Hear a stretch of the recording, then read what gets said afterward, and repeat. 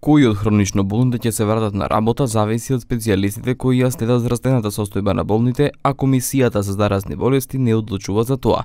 Доколку пациентот има проблеми со белите дробови, дали треба се врати на работа или не ќе одлучи пулмологот, а не Комисијата за заразни болести. Комисијата предложила враќање на работа на овие лица поради недостигот на кадар, само во градинките, како што објаснува директорот на Институтот за јавно здравје во Скопје Александар Стојанов, недостигаат 263 лица, но има и други причини.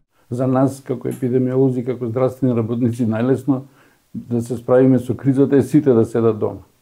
Ама не седат Овде имаме многу случаи што луѓето све правеа, само не идеа на работа. Иначе идеа и на годишни одмори, идеа и по кафани, и по ресторани. Враќањето на работа на хронично болните, отварањето на школите и градинките, дали значи отварање на државата кон COVID-19, дека се враќаме во нормала или значи дека вирусот слабе, Стојанов со одговор. Кај нас имаме тенденција на намалување, тоа е факт. Ма не е толку доволно за да бидеме тотално отпуштени. Е сега како ќе се движи понатака ќе видиме. Факт е дека а, во болниците имаме помалку приеми, тоа значи потешки случаи се помалку се јавуваат, ама од друга страна починати се уште имаме. Тој вели дека разликата во однос на изминатиот период е дека сега повеќе заболуваат младите бидејќи се поактивни.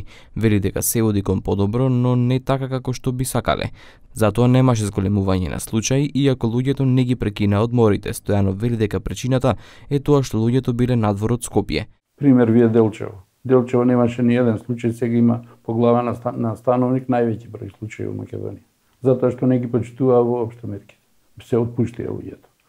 Значи, добрата страна беше летово што беа надвор луѓето.